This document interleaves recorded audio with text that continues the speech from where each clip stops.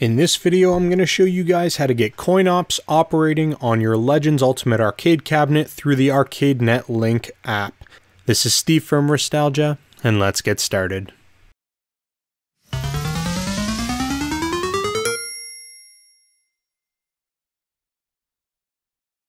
Alright guys, so what we're going to need to do first and foremost is make sure that we have downloaded the Arcade Netlink app right from the AtGames website. I will leave a link in the description down below. You just click on it, download and install. It's really, really simple. Once you're all set up, you're going to need to create an account, and once you've created that account, you're going to need to log in on the computer that you want to stream from. Once that's up and running, we don't need to do anything else. We can hop right on over to our arcade cabinet. So the first thing that we're going to need to do is navigate to the BYOG section of our menu. And what we're going to notice, along with all the other options like Steam, Blizzard, and Epic Games, we're now going to have a new section, and in my case it's called Restalgia Gaming PC. Whatever you name your device, that's how it's going to display, and it's going to be located at the end of all the other options. What we're going to go ahead and do is we're just going to go ahead and select that with our controller. So before we move on, as you guys can see, we now have access to my entire desktop computer. Anything that I want to run right from my desktop can be done right on the cabinet. You end up using the trackball as your mouse, and then you can use your A button on your first player controller as your left button click. So you pretty much can do whatever you want. If you want to watch movies, load up Kodi, play games, things like that, it's all doable. Now, I do want to mention that there is an upcoming feature called My Game Room, which essentially gives you your own cloud based computer, and that would be useful for individuals who don't have a powerful enough computer to do stuff like I'm going to do in this video. Now, if you've got a regular run of the mill computer, you should be able to do most of these things. However, when you're starting to get into emulation of PlayStation 2 or any of those sort of things, that's where you're going to run into some problems if you don't have the proper hardware. Now that being said, my computer is plenty powerful enough, so I'm just going to use that for this video and I'll show you guys the My Game Room in another video. In terms of installing CoinOps, it's really simple. I'm going to leave a link in the description down below. You'll have to download it, and uh, it's really neat because you don't actually have to do anything to install it. When you download it and you extract it, it's already ready to go. It's pretty much an application that's extracted, and you just double click the application and it launches. So we're going to go ahead and navigate to that and get it running. In terms of CoinOps, there are a couple of options here. You can either go with the CoinOps Next, which is their full system, which is about 150 gigs. It's a really large program. Or you can go with their CoinOps Next Mini, which is substantially smaller. It's much more retro consoles. You're talking Nintendo, arcade, Game Boy, Game Boy Advance, things like that. Uh, and it's only 12 gigs. So if you are concerned about space and you don't have a ton of space, make sure to download the CoinOps Next Mini. CoinOps Next has way more options, and that's the one I'm going to show you guys in this video. So now that we've got CoinOps up and running, as you guys can see, it is a very visually appealing uh, front end for any sort of arcade system or gaming system in general. Now, this version comes preloaded with a ton of different consoles. We've got arcade games, and then there's another section called Arcade Classics. We've got Sega Genesis. We've got Super Nintendo, we've got Computer Classics, we've got Dreamcast, we've got Game Boy Advanced, Game Boy Color, Game Boy, Nintendo 64, NES, uh, TurboGrafx or PC Engine, PlayStation, PS2, PSP. Uh, we've got Nintendo Wii even loaded up on here. I've downloaded a Legend of Zelda collection, which got to be added in. It comes stock with Doom 2, and it even comes with Street Fighter 4 Ultra. So you've got a ton of things right out of the box and it's pretty much ready to go in terms of uh, configuration. Now I do want to mention some consoles need to be reconfigured in terms of their controllers, so I'll definitely show you guys how to do that with, for example, PlayStation, but in general you will have to play with some because not all consoles run efficiently with this arcade cabinet. So we're going to jump right into the arcade section here, and as you can see, we end up getting kind of like a, a, scrolling wheel visual attract mode. It looks really nice, and the really cool thing is that every single game that gets displayed you actually get a little bit of a video teaser on the left hand side of the screen as well. So you kind of can see exactly what it is, how the gameplay looks internally, so that way you can make the decision if it's a game you've never played, if you even want to give it a shot. So some things that people are going to get really excited about is that there are a ton of games built into this, including things like Dragon's Lair. So if you've been dying to play Dragon's Lair on your arcade cabinet, you can do it right through CoinOps. Now I'm going to go ahead and get this game up and running. Now I do want to make note in the top right hand corner you're going to notice latency and you're going to notice FPS. In terms of the actual latency and FPS, you're going to get substantially better performance out of any of your games if you are hardwired into your modem and your PC is also hardwired into your modem. That being said, I'm currently connected via Wi-Fi so I could show you guys even in a worst case scenario how it operates and it's honestly it's really impressive how well it is working. You guys will notice that there are some consoles that would have benefited from a direct line connection, but honestly even the way it is it's not bad.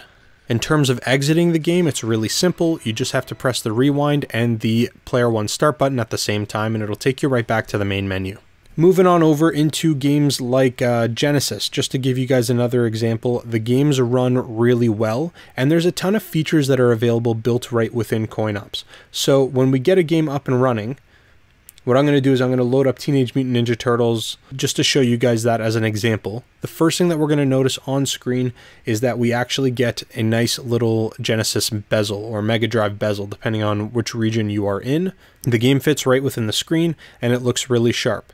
There is the option to put on things like scan lines or a glass filter on the front so you can kind of get that beat up look but it's not necessary. I actually prefer to not have any of those filters on. I just like looking at the actual image of the game itself.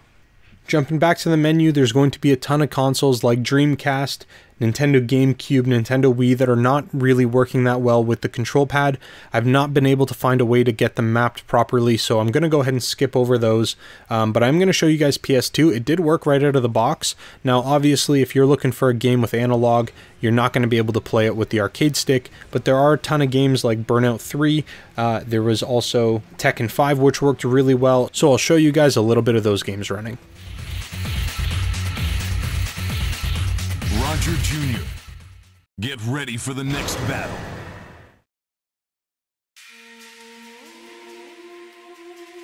Come on! Round one. Fight.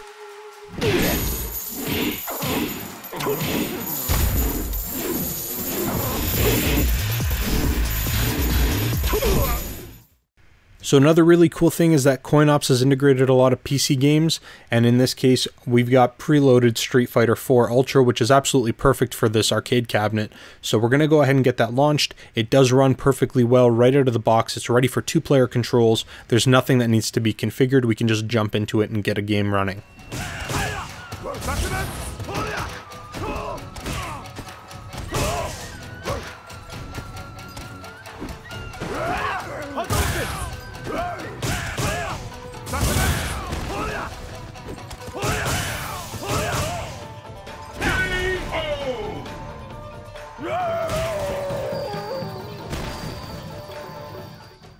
So next we're going to talk about PlayStation 1. So this is one that does work and in fact you could play most of the games with the exception of Ape Escape, uh, but you do need to reconfigure the buttons. And what you're going to need in order to do that is you're going to need the keyboard that's attached to the computer and we need to hit a command in order to remap those keys. So what we need to do is jump into a game here and once the game is loaded up, on our keyboard we need to hit Alt, Shift, and 1 all at the same time. And what that's going to do is it's going to give us the ability to remap. And as you can see on the bottom of the screen, it says DualShock 1, D-pad up button, and you have to press the buttons twice. So you'll press D-pad button up, so in this case joystick up, and it'll be in brackets 1 and 2. You're going to have to double input it just to make sure that you press the correct button uh, and it's really handy.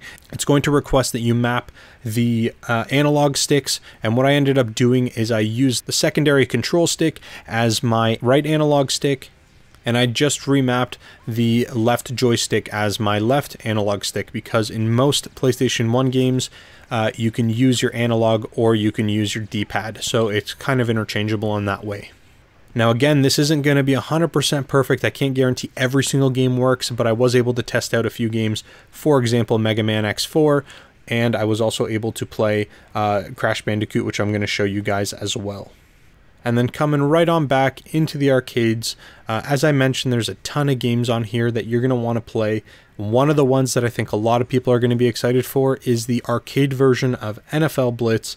Now, it shouldn't surprise you guys that I should be able to get it up and running on my PC, but I gotta tell you, when I'm streaming it, it plays really, really well on this arcade cabinet. So I'm going to go ahead and get this up and running and show you guys a little bit of that as well.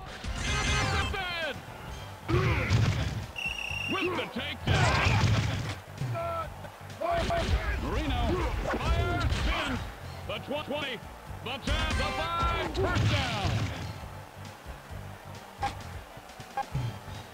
first and goal. Deflection.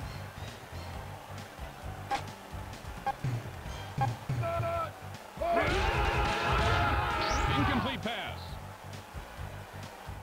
But that's pretty much it. That's all I've got for you for this video. Thank you so very much for watching. Subscribe to the channel if you haven't already leave a comment in the comment section below. If you guys end up messing around with the GameCube controls, the Nintendo Wii controls, or the Dreamcast controls and you can get them up and running, please let me know in the comment section below. I'd love to I'd love to figure that out. Additionally, all the links will be in the description below. Let me know if you guys need any help, and I will talk to you guys again real soon.